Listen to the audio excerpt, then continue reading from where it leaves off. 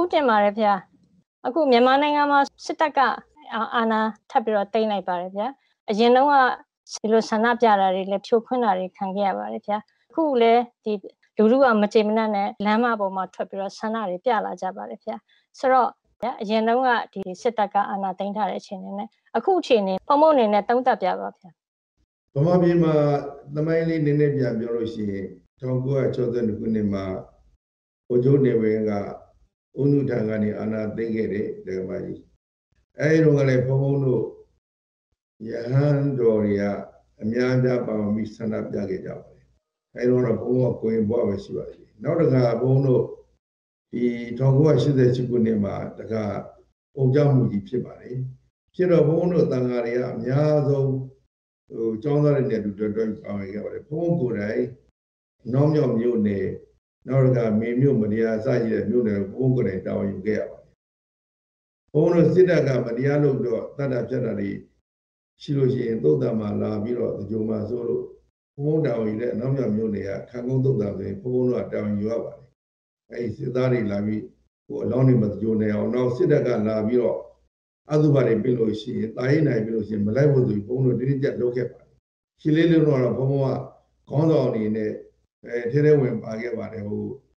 အဲ့တော့လည်းတန်ဃာတော်တွေပါဝင်ခဲ့ပါတယ်ဒီမှာအထူးသဖြင့်တော့ဒီကဘာလုံးသိကြတဲ့ရွှေဝါရောင်ဒေါ်လာရေးမှာဘုန်းတို့တန်ဃာတွေကကဘာကျော်သွားပါတယ်ဒီမှာကြီးဒါလို့အဲ့လိုကဘာကျော်သွားတဲ့ဥစ္စာကိုဘာနဲ့ဖြစ်လိုက်တယ်ဆိုတော့သူတို့မဘာသာဆိုတဲ့အဖွဲ့ကြီးဖွဲ့ပြီးတော့လုပ်တဲ့အခါမှာဘုန်းတို့ကဘာကျော်တဲ့တန်ဃာအဖွဲ့စီကမှိန်သွားတယ်လို့မှိန်သွားလို့ဖြစ်သွားပါတယ်ဒါလည်းခုစစ်တပ်ရဲ့ရုံမှမှုပါခုတက အာဏာသိမ်းတာတွေဖြစ်လာတယ်။ဒီမိုင်းတော်သားစုကြည်ခေါင်းဆောင်တဲ့အမျိုးသားဒီမိုကရေစီအဖွဲ့ချုပ်မဲအပြတ်တဲ့နိုင်ငံတာလူတိုင်းအသိပါမတရားအာဏာသိမ်းတာဖြစ်ပါလေခုဥစားဒီလိုမတရားအာဏာသိမ်းတဲ့အတွက်မင်းအောင်လည်းမှာအပြစ်ရှိပါတယ်ဘုံကြီးမင်းအောင်လည်းမှာလက်နဲ့မီးတဲ့သူတွေကိုဘာမှမဆိုင်တဲ့တင်ကားတွေပဲထုတ်သုံးပြီးတော့အကုန်လုံးဖြိုးခွင်းနေတာတွေ့ပါတယ်တကယ်တော့စစ်ကြည့်လို့ရှိရင်မင်းအောင်လည်းအာဏာသိမ်းတာသူ့ကိုယ်ကျိုးစည်းပွားအတွက်ဖြစ်နေပါတယ်အဲ့တော့ ကိုကျိုးစည်းပွားတဲ့မြောပြည်သူလူထုကိုနေချပြီးတော့တကဘာလုံးကထောက်ခံတဲ့မြန်မာပြည်လုံးကထောက်ခံတဲ့ဒီမိုင်းတော်သားသူကြည်လို့သီလသမารရှိတဲ့ပုဂ္ဂိုလ်ဖန်ဆီးထားပြီးတော့သူလှုပ်တာသိအပြည့်ကြီးပါတယ်။နောက်ဒီနေ့တန်ဃာတော်တွေထွက်ပြီးဆန္ဒပြနေတာကိုလည်းဘုန်းတော်အားပေးပါတယ်။မှန်ပါဗျာ။ဒီလို့ကိုလို့ရမယ်လုပ်ပါတယ်ဒီမှာကြီး။လို့လို့ရှိရင်ခုလို့ရှိရင်တော့250လောက်ဖြစ်သွားပါလိမ့်မယ်ဒီမှာကြီး။မှန်ပါဗျာ။ စနေနေ့ကဆိုလို့ရှိရင်ဒီတန်ဃာတော်တွေဂျာနဲ့ချီပြီးတော့ထွက်လာပြီးတော့အမေရိကန်တန်ယုံရှိမှသူတို့ဆန္ဒပြပါတယ်ဗျာသူတို့အမေရိကန်တန်ယုံနဲ့တွားတယ်နောက်ပြီးတော့ကုလသမဂ္ဂယုံတို့တခြားတန်ယုံတွေတရုတ်တန်ယုံတို့လည်းတွားပါတယ်ဒီမြန်မာပြည်အေဂျင့်ဖို့အတွက်သူတို့ဝိုင်းဝန်းပြီးတော့ကူညီပံ့ပိုးကြပါလို့ဒီတန်ဃာတော်တွေတွားပြီးတော့ပန်ကြားကြပါတယ်ဆိုတော့အခုဖုံဖုံတို့အနေနဲ့ရောဒီပြပရောက်တန်ဃာတွေအနေနဲ့ရောဘယ်လိုတုံ့ပြန်ခြင်းပါလဲဗျာအခုအမေရိကန်မှာတောက်တော်နေကြတဲ့တန်ဃာတော်တွေသဘောတည်းပါဒကမာကြီး ဒီနိုင်ငံကတန်ယုံတွေကိုတွားပြီးတောင်းဆိုတာလေဘုန်းတို့ထောက်ခံပါတယ်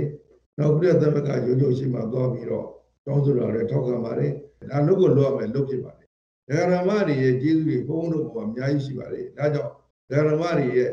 ဟိုငြိမ်းချမ်းချမ်းနေဖို့ဟိုတိုင်းပြည်တို့တဲ့ဖို့အတွက်ဘုန်းတို့ကတက်နေတဲ့ဘက်ကလုပ်ပြရမှာမလို့ဘုန်းတို့ကြိုးစားပါတယ်ဒဂမကြီး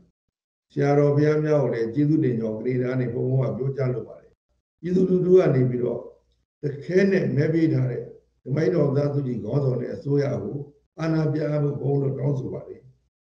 ပြည်သူလူထုကတခဲနဲ့မဲပေးထားတာပါဘာမှဆွဲချင်းပြုချင်းမရှိပဲနဲ့အဲ့ဒါကိုဘာမှအကြောင်းမရှိပဲနဲ့ကိုရွတ်စီဘအတွက်ထပြီးအာဏာသိမ်းတဲ့ဒီဘိုးချုပ်မင်းအောင်လည်းကိုလည်းဘုံလို့အလွန်တမ်းမှဒီစိတ်ကြမိပါလေသူကတိုင်းပြည်ရဲ့မကောင်းဆိုးအားပုဂ္ဂိုလ်တယောက်လို့တော့ဘုံလို့သတ်မှတ်လိုက်ပါပြီအဲ့တော့ အများဆုံးပြည်သူလက်ထဲပြည်သူအစိုးရလက်ထဲကိုအာဏာပြန်လွှဲဖို့တောင်းဆိုပါတယ်ဒကမာကြီးဘုန်းတို့ကနေဒါတန်ခါတော်တွေအမေရိကန်တန်ခါတွေနဲ့ဒီဘာလို့ပါတဲ့တန်ခါတော်တွေတသူတွေတသားတွေပါပဲလို့ဘုန်းတို့ပြောကြလို့ပါလေပြီးတော့မြန်မာပြည်သူတွေပြောချင်တာကတော့မကြောက်ကြပါနဲ့ဒီကိုယ်ကိုမတရားလုပ်တဲ့လူခေါင်းခေါင်းငုတ်ခံနေလို့ရှိရင်တက်တက်လုံးစီးသွားပါလေအခုလိုအာဏာသိမ်းထားတာနဲ့ပတ်သက်ပြီးတော့ဘောနော်မြန်မာနိုင်ငံမှာအေးချမ်းချမ်းပြန်ဖြစ်သွားအောင် လိုစိတ်ဆက်ညှိနှိုင်းမှုတွေလုပ်နေတယ်လို့ကြားပါတယ်ဗျာဆိုတော့ဒါနဲ့ပတ်သက်ပြီးတော့အောင်မြင်မယ်လို့ထင်ပါလားဗျာစိတ်ဆက်ညှိနှိုင်းမှုကတော့နှုတ်နဲ့ဖက်ညှတတဲ့စစ်သက်ညှိနှိုင်းမှုဆိုရင်အောင်မြင်ပါလိမ့်မယ်လေကွာစစ်သက်ညှိနှိုင်းမှုလုပ်တယ်ဆိုရင်လည်းဘုန်းဘုန်းတို့ကကြိုးစိုးထောက်ပါမှာပါပဲဒါမှမဟုတ်ဒီသတိပြုစရာတော့တနိုင်ငံလုံးကနေပြီးတော့တခဲနဲ့မဲပေးထောက်ခံထားတဲ့ဓမ္မိုက်တော်သားသူကြီးကောင်းတဲ့ဆိုအဖွဲ့ကိုတော့မဲလီနဲ့မဲခိုးတယ်လို့ဆွဆွဲလို့မရပါဘူး စစ်သက်ညှိနှိုင်းတာကိုဘုန်းတို့အမြဲတမ်းအားပေးပါတယ်